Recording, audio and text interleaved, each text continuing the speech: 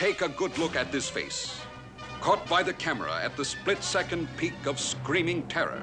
It is the only face we are permitted to show you in this story of a girl encircled by evil, enveloped in a living nightmare.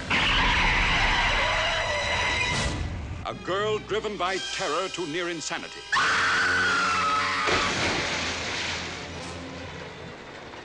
Shocks, such as the one that you had last night, can deal the mind a very serious blow. A blow which could affect it permanently. You mean I could go mad?